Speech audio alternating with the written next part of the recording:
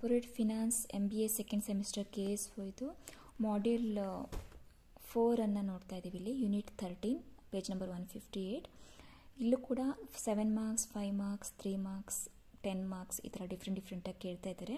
So ಒಂದಲ್ಲ ಒಂದು question ಬರ್ತಾ ಇದೆ.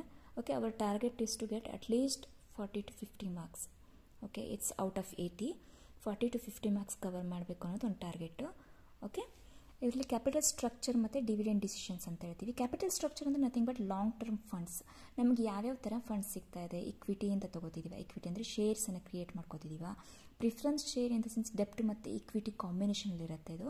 ಆಮೇಲೆ ರಿಸರ್ವ್ಸು ಸರ್ಪ್ಲಸ್ ನಮ್ಮ ಹತ್ರ ಏನು ಆಲ್ರೆಡಿ ಕ್ಯಾಪಿಟಲ್ ಇದೆ, ಮತ್ತು ಲಾಂಗ್ ಟರ್ಮ್ ಲೋನ್ಸ್ ಮಾಡಿ, ಹೀಗೆ ಡಿಫ್ರೆಂಟ್ ಡಿಫ್ರೆಂಟ್ ಕಾಂಬಿನೇಷನಲ್ಲಿ ನಾವು ಕ್ಯಾಪಿಟಲನ್ನು ತೊಗೊಳ್ತೀವಿ ಬಿಸ್ನೆಸ್ಗೆ ಅದನ್ನೇ ನಾವು ಕ್ಯಾಪಿಟಲ್ ಸ್ಟ್ರಕ್ಚರ್ ಅಂತ ಕರಿತೀವಿ.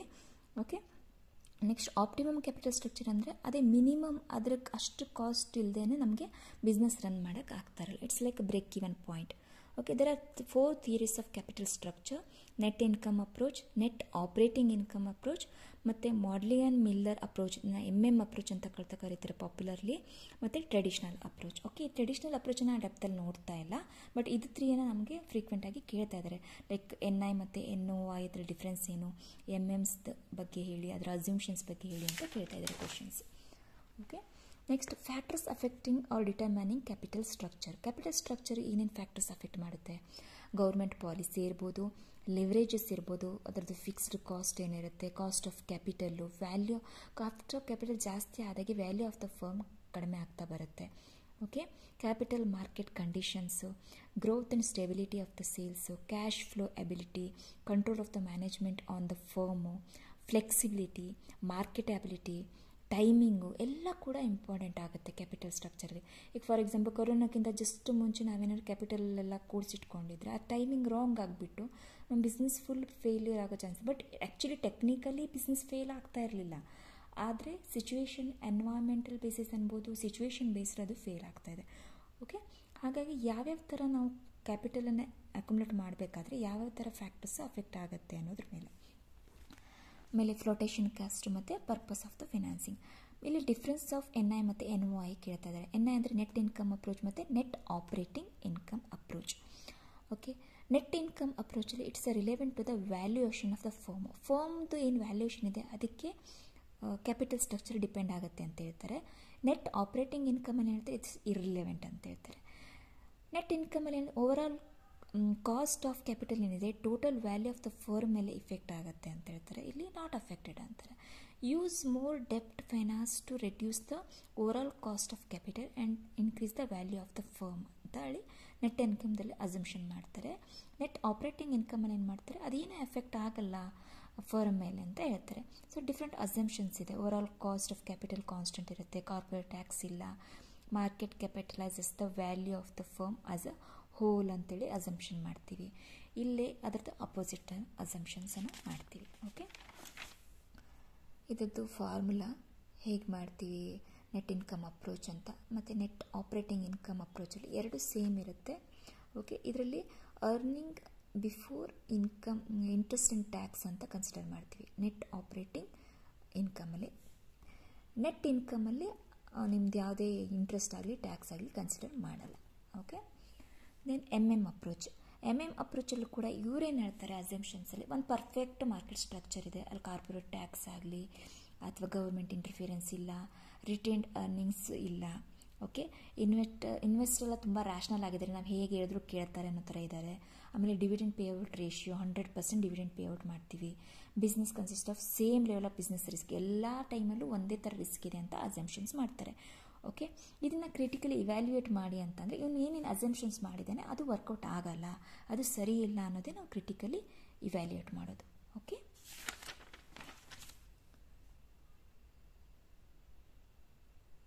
ಟ್ರಾನ್ಸಾಕ್ಷನ್ ಕಾಸ್ಟ್ ಇರುತ್ತೆ ಇನ್ಸ್ಟಿಟ್ಯೂಷನ್ ರೆಸ್ಟ್ರಿಕ್ಷನ್ಸ್ ಇರುತ್ತೆ ಕಾರ್ಪೊರೇಟ್ ಟ್ಯಾಕ್ಸಸ್ ಇರುತ್ತೆ ರಿಟೇನ್ಡ್ ಅರ್ನಿಂಗ್ಸ್ ಅಷ್ಟು ಪೇಔಟ್ ಮಾಡೋಕ್ಕಾಗಲ್ಲ.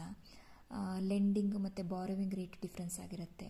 ಸೊ ಇದೆಲ್ಲ ನಮ್ಮದು ಕ್ರಿಟಿಸಿಸಮು ಎಂ ಎಮ್ಸ್ಗೆ okay M M's ಅಪ್ರೋಚ್ಗೆ next unit fifteen leverages financial leverage operational operative leverage ಮತ್ತು ಕಂಪೋಸಿಟ್ ಲಿವ್ರೇಜ್ ಓಕೆ ಈ ಲಿವ್ರೇಜಸ್ಸಲ್ಲಿ ಲಿವ್ರೇಜಸ್ ಅಂದರೆ first the ability to use fixed cost assets or funds to increase the return to its shareholders shareholders ಅಂದರೆ ಒಂದು ಕಂಪ್ನಿಯನ್ನು ಒಂದಿಷ್ಟು ಜನ ತಮ್ಮ ದುಡ್ಡು ಹಾಕ್ಬಿಟ್ಟು ಶೇರ್ಸ್ ತೊಗೊಂಡಿರ್ತಾರೆ. ಅವ್ರದ್ದು ರಿಟರ್ನನ್ನು ಇಂಪ್ರೂವ್ ಮಾಡಬೇಕು. ಅದಕ್ಕೋಸ್ಕರ ಇರೋ ಫಿಕ್ಸ್ಡ್ ಕಾಸ್ಟ್ ಅಸೆಟ್ಸ್ ಏನಿದೆ ಫಂಡ್ಸ್ ಏನಿದೆ, ಅದನ್ನು ಪ್ರಾಪರಾಗಿ ಯುಟಿಲೈಸ್ ಮಾಡ್ಕೊಳ್ಳೋದೆ ಲಿವರೇಜ್ ಓಕೆ ಫೈನಾನ್ಷಿಯಲ್ ಲಿವರೇಜ್ ಅಂತೀವಿ ಆಪರೇಟಿವ್ ಲಿವರೇಜ್ ಇರ್ತೀವಿ ಕಂಪೋಸಿಟ್ ಅಂದರೆ ಫೈನಾನ್ಷಿಯಲ್ ಮತ್ತು ಆಪರೇಟಿವ್ ಎರಡು ಮಿಕ್ಸ್ ಇರುತ್ತೆ. ಆಪರೇಟಿಂಗ್ ಲಿವರೇಜಸ್ ಏನಿರುತ್ತೆ ಇಟ್ಸ್ ಅಸೋಸಿಯೇಟ್ ಇನ್ವೆಸ್ಟ್ಮೆಂಟ್ ಆ್ಯಕ್ಟಿವಿಟೀಸ್ ಏನಿರುತ್ತೆ, ಅದು ಆಪರೇಟಿಂಗ್ ಲಿವರೇಜ್ ಅಂತ ಹೇಳ್ತೀವಿ. ಫೈನಾನ್ಸಿಂಗ್ ಆಸ್ಪೆಕ್ಟನ್ನು ಫೈನಾನ್ಷಿಯಲ್ ಲಿವರೇಜ್ ಅಂತ ಕರಿತೀವಿ ಆಮೇಲೆ ಅರ್ನಿಂಗ್ ಪರ್ ಶೇರ್ ಒಂದು ಶೇರ್ ನಾನು ಹಂಡ್ರೆಡ್ ರುಪೀಸಿಗೆ ತೊಗೊಂಡಿದ್ರೆ ಆ ಒಂದು ಶೇರಿಗೆ ನನಗೆ ಎಷ್ಟು ರುಪೀಸ್ ಅರ್ನಿಂಗ್ಸ್ ಆಗ್ತಾ ಇದೆ ಅನ್ನೋದೇ portion of companies profit allocated to each outstanding share of the common stock okay ಪ್ರಾಫಿಟಲ್ಲಿ ಇಷ್ಟಿಷ್ಟು ಅಂತ ಹೇಳ್ಬಿಟ್ಟು ಅರ್ನಿಂಗ್ ಪರ್ ಶೇರನ್ನು ಕೊಡ್ತಾರೆ. Next EBIT and E P S analysis ಬಗ್ಗೆ ಕೇಳ್ತಾರೆ. ಅದ್ರ ಬಗ್ಗೆ ಅದು ಏನಾಗುತ್ತೆ ಅಂತೇಳಿ ಇಬಿಟಲ್ಲಿ earning before interest and tax ಇಲ್ಲಿ ಕಂಪ್ಯಾರಿಷನ್ ಇನ್ವಾಲ್ವ್ ಆಗುತ್ತೆ. ಇಬಿಟ್ ಮತ್ತು ಇ ಪಿ ಎಸ್ ಅನಾಲಿಸಿಸಲ್ಲಿ ಮಾಡ್ತೀವಿ. ಕಂಪ್ಯಾರಿಷನ್ ಮಾಡ್ತೀವಿ. ಅಲ್ಟರ್ನೇಟಿವ್ ಮೆಥಡ್ ಯಾವ್ದು ಚೆನ್ನಾಗಿದೆ ಲಿವರೇಜ್ ಮಾಡೋಕ್ಕೆ ಅಂತ ಹೇಳ್ಕೊಂಡು. ಓಕೆ ಈಗ ಇಬಿಟ್ ಇಂಡಿಫರೆನ್ಸ್ ಪಾಯಿಂಟ್ ಅಂತಂದರೆ break even point break even ಪಾಯಿಂಟ್ಗಿಂತ ಕಡಿಮೆ ಇದ್ದಾಗ ಅದು ಫೈನಾನ್ಷಿಯಲ್ ಲಿವರೇಜನ್ನು ಕನ್ಸಿಡರ್ ಮಾಡ್ತೀವಿ. ಓಕೆ ಅಥವಾ ಬ್ರೇಕ್ ಇವನ್ ಪಾಯಿಂಟ್ಗಿಂತ ಜಾಸ್ತಿ ಇದ್ದಾಗ ಅಲ್ಲಿ ಆಪ್ರೇಟಿಂಗ್ ಲಿವರೇಜನ್ನು ಟ್ರೈ ಔಟ್ ಮಾಡ್ತೀವಿ. ಫೈನಾನ್ಷಿಯಲ್ ಲಿವರೇಜ್ ಅಂತಂದರೆ ಈಗಾಗಲೇ ಹೇಳ್ದಂಗೆ it's a fixed income security such as debt and preferred equity to magnify effects of the change in the EBIT on E P S okay it's just like financing ಹೆಂಗೆ ಮಾಡ್ತಾ ಇದ್ದೀವಿ ನಾವು? Debt ತೊಗೋತಾ ಇದ್ದೀವಾ preferred equity ತೊಗೋತಾ ಇದ್ದೀವಾ ಆಮೇಲೆ E P ಎಸ್ಸನ್ನು ಹೇಗೆ ಜಾಸ್ತಿ ಮಾಡಬೇಕು ಅನ್ನೋದಕ್ಕೆ ಫೈನಾನ್ಷಿಯಲ್ ಲಿವರೇಜ್ ಮಾಡ್ತೀವಿ. ಟ್ರೇಡಿಂಗ್ ಆನ್ ಇಕ್ವಿಟಿ ಅಂತ ಕೇಳ್ತಾರೆ, ಇದು ಮತ್ತು ಫೈನಾನ್ಷಿಯಲ್ ಲಿವರೇಜು ಸಮ್ಮೌ ಸೇಮ್ ಇರುತ್ತೆ. ಇದನ್ನು ಕೂಡ ಅರ್ನಿಂಗ್ಸನ್ನು ಎನ್ಹ್ಯಾನ್ಸ್ ಮಾಡೋಕ್ಕೆ ಮತ್ತು ಟ್ಯಾಕ್ಸನ್ನು ಫೇವರೇಬಲ್ ಆಗಿ ಟ್ರೀಟ್ ಮಾಡೋಕ್ಕೆ ಯೂಸ್ ಮಾಡ್ತೀವಿ.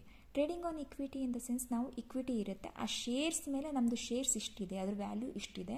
ಸೊ, ಇದರ ಮೇಲೆ ನಮಗೆ ಲೋನ್ ಕೊಡಿ ಅಂತ ಲೋನನ್ನು ತೊಗೊತೀವಿ. Next unit sixteen dividend decisions ಇದನ್ನು ನಾನು ನೆಕ್ಸ್ಟ್ ಇದರೊಳಗೆ ಕವರ್ ಮಾಡ್ತೀನಿ ಫ್ರೆಂಡ್ಸ್ ನೆಕ್ಸ್ಟ್ ವಿಡಿಯೋದಲ್ಲಿ ಓಕೆ